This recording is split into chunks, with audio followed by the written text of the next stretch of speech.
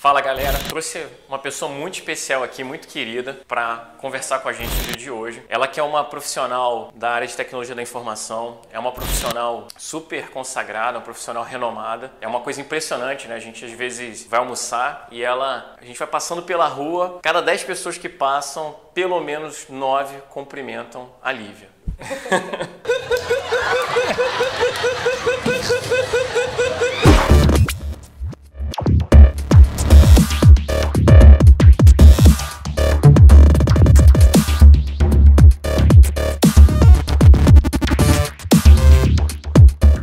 Lívia, o que eu queria entender um pouquinho, conversar com você, é sobre a parte de certificações. Lógico, né? Eu vou falar um pouquinho mais sobre a certificação Scrum, a certificação a minha certificação favorita. Queria saber de você, né? Quando é que foi que você ouviu falar da certificação Scrum? Quem falou? Em que momento foi que isso apareceu na sua vida? Durante a minha vida acadêmica, conforme eu fui me formando e, e entendendo, estudando, o Scrum foi aparecendo assim aos poucos é, em aulas de metodologia e, e, ele foi se mostrando aos poucos para mim ao longo do tempo. Eu, no meu MBA, que onde você era meu professor, ele se apresentou para mim de uma maneira mais clara e, e, e foi bem legal, foi uma descoberta para mim é, é, quando eu descobri melhor como funcionava a metodologia e como ela podia ser aplicada em várias situações, inclusive. A gente e você, você já era uma profissional é, PMP, né? Você já era certificada. Já, já era certificada PMP nessa época. PMP. Eu já tinha feito de diversas outras certificações, ITIL, PMP, eu fiz o Practitioner, né? eu fiz o, o, o, PMP, e depois eu fui descobrir o Scrum, né, é, numa aula sua do MBA, e durante aquele período lá que a gente ficou entendendo como era, foi bem legal para mim. Naquele momento me trouxe muita, muita, muita luz sobre o que era a metodologia, como ela podia ser aplicada, como ela podia melhorar meu dia a dia lá no trabalho, inclusive, e foi muito legal é, essa, essa, apresentação, né? E é, é, durante aquele período lá que a gente estudou, você dando dicas e tal para a própria certificação em si, foi bem tranquilo, assim, eu, eu, até hoje eu me impressiono, eu canso de falar uhum. várias vezes para várias pessoas o quanto foi útil para mim, o quanto foi muito legal aquele período que a gente ficou lá. E de eu ter me certificado assim, tipo, acho que foi 15 dias depois, né? É, foi, acho eu que foi... e o Felipe, que não, não pôde estar aqui nesse momento, mas... É, Vai ficar até um abraço aí pro Felipe. É, né? Felipe, você não veio, mas foi citar. A gente certificou muito rapidamente depois daquela, daquele, daquelas aulas, das dicas que você deu e tal. E é uma metodologia muito tranquila de, de conteúdo, né, em relação ao PMP, que é pesadíssimo. Eu levei quase nove meses estudando para poder passar na prova do PMP. É, o guia, né, são menos de 20 páginas, né? É, é um se guia gente... muito tranquilo, né? Bem tranquilo, dá todo dia antes de dormir dá para ler, é, se quiser. Muito rápido. O próprio conteúdo em si é leve, é, é, é divertido, uhum. né? Posso dizer que é divertido você aprender a dividir as coisas e, e, e como que você aplica e tal. É, bem, é uma dinâmica bem legal, né, o Scrum tem. Então, foi bem tranquilo, assim, para mim, foi bem legal conhecer o Scrum e, e o que veio depois, né?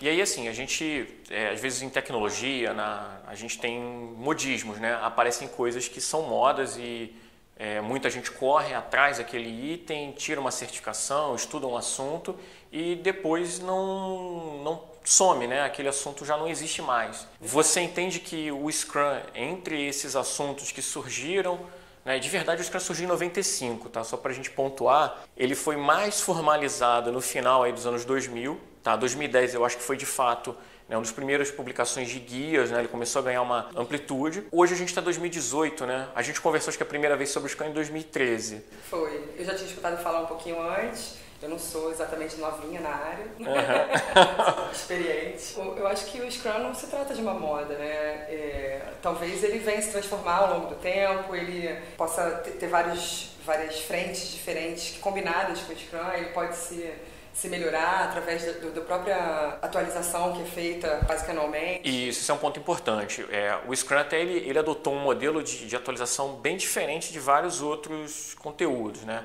ele usa um site, até fazer uma, fazer uma publicidade, né? A gente vive fazendo publicidade para os outros de graça, né? Que é o uservoice.com. Que qual é a ideia desse site, né? Não tem nada a ver com The Voice, tá? Não é, não é cantoria nem nada. Sonhei com você. Você apareceu meu quarto. Mas a ideia é que é, as pessoas elas vão e opinem sobre o que, que elas entendem que pode acrescentar ao, ao, ao guia. Né? Isso pode ser feito para um produto, para um processo, no caso para o Framework Scrum. As pessoas vão lá, colocam uma ideia e a comunidade que trata aquele assunto ela vai votando. Então ela fala, ah, eu acho essa ideia muito boa, ou essa ideia é boa, mas poderia trocar aqui. E as últimas atualizações elas não vêm é, essencialmente dos dois escritores principais, né? Elas vêm do público. Então as pessoas vão lá, votam, lógico, tem o, o, carinho deles, né? eles dão manutenção naquilo, e eles vão lá e falam, pô, isso aqui é legal, vamos encaixar isso aqui. Ou também falam, oh, isso aqui a gente não, não combina, a gente pode estar amarrando demais e a gente quer que ele tenha flexibilidade, né? A gente quer que o Scrum possa ser usado não só em projetos de software, mas de software, inclusive assim, não quero só de software de Java, não, eu quero .NET, quero poder estar, sei lá, até no, nos, nos frameworks JavaScript e talvez até além, né? Eu até queria comentar, né? A gente estava olhando a pauta do Scrum Gathering desse ano e a gente tem vários, também não fazendo, não sou patrocinado pelo Scrum Gathering, né? Quem sabe um dia, mas é, eles estão com várias pautas de educação, né? Existe o guia do Scrum, é, eles têm pautas relacionadas à área jurídica, vai ter gente comentando, atletas de alta performance. Como eu estava te dizendo, dá para usar para a vida, né? dá para usar Scrum na vida. Você consegue encaixar a metodologia em, em vários aspectos, né? como você estava falando, educação, na vida, em qualquer outro lugar, como em esporte, administração. Só não pode fazer de um jeito chato, né? Tem que fazer de um jeito que. É, você tem que, que, que tornar a metodologia é, é no teu dia a dia leve, né? Eu acho que, que, que o objetivo é exatamente que você possa tornar a coisa ágil. E tá trazendo essa, essa agilidade, você também transforma a coisa num pouco mais leve, né? É, é muito mais difícil hoje para mim ver as coisas em, em blocos grandes e entregas grandes do que você fazendo a coisa ser mais dinâmica, né? Até porque o mundo, acho que hoje é muito mais dinâmico. Pede, né? É. A gente tem aí, por exemplo, o movimento DevOps, que é um movimento que declara oficialmente, né, que ele vem do movimento ágil, que ele está muito ligado à parte de desenvolvimento e operação de sistemas, né, na parte de tecnologia. E esse movimento, é, você pega na literatura deles casos práticos, casos reais de eles fazerem subida para produção 10 vezes ao dia. É. Então eles fazem 10 deploys do mesmo sistema Fora no mesmo dia. Mudança de requisito, é, uma série de coisas que você num bloco grande você passa que se você não tiver uma maneira de, agilizar coisas no dia a dia, você acaba que se perde hoje em dia. Você, acho que você nem consegue mais fazer a coisa de um jeito tão, tão grande Sim, se torna burocrático, né? E aí o sucesso que a gente vê nas startups, nas fintechs, nessas empresas com certeza está ancorado ali na, na parte do, não só do Scrum, tá?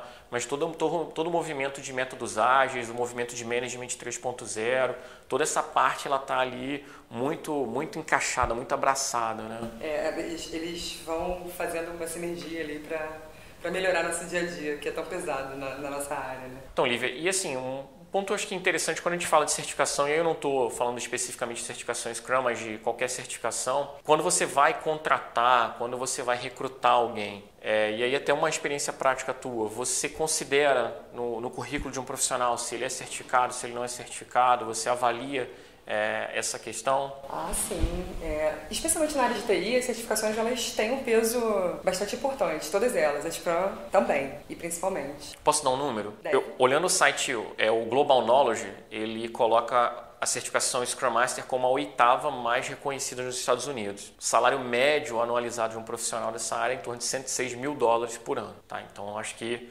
compensa, tá? O que acontece é o seguinte, muitas vezes o contrato com o cliente, né, clientes grandes, eles exigem as certificações, né? Você, como empresa, você tem que ter profissionais certificados. Então, é, isso certamente é um valor, ele gera valor para a empresa ter, ter profissionais certificados e isso se reflete, obviamente, nas contratações. Se, se o profissional é certificado, quanto melhor a formação dele, quanto mais certificados ele, ele tem é, que tem uma abrangência, uma importância, como a Scrum, por exemplo, melhor ele é conceituado, melhor ele é pago, é, é, é, mais difícil é contratar um profissional desse. É uma coisa que eu recomendo fortemente. Profissionais, especialmente na área de TI, tenham certificações, como a certificação Scrum, né, que obviamente que é um reflexo do conhecimento da metodologia para ser aplicada, especialmente para fábrica de software, para clientes grandes, você usa mesmo, assim, não é só a certificação por ter. Hoje em dia, quem faz, quem trabalha em fábrica de software e não conhece Scrum, tá morto. Com certeza.